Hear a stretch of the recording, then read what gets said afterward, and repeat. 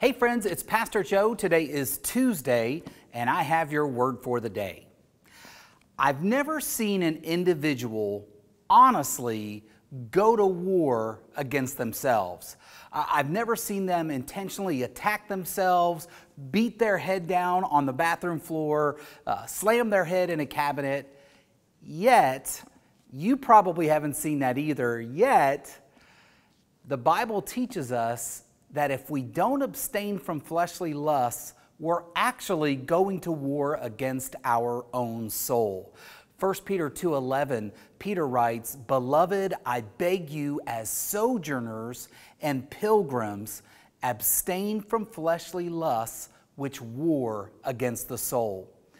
Fleshly lusts have a way of damaging us when we give in to them. They damage our marriages, damage our relationships, damage our friendships, damage our thought lives, and worst of all, damage our relationship with God.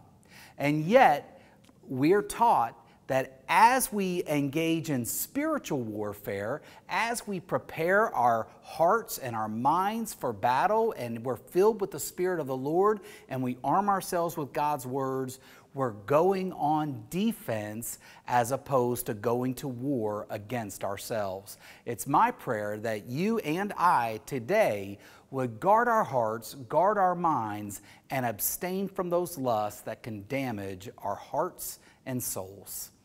If today's word for the day has blessed you, like it, share it, or leave a comment. God bless.